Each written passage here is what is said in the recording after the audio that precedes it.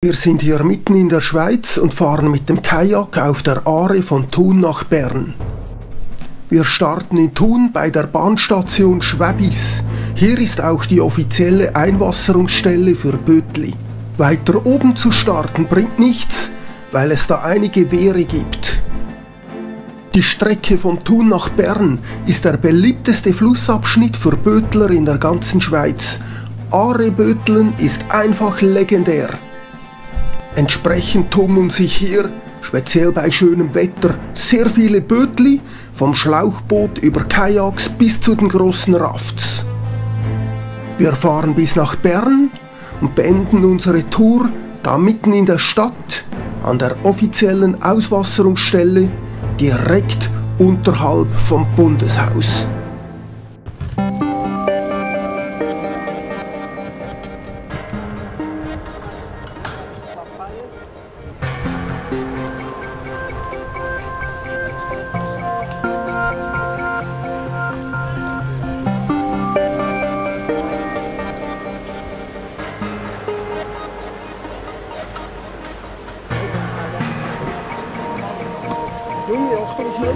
Johnny, oh my God.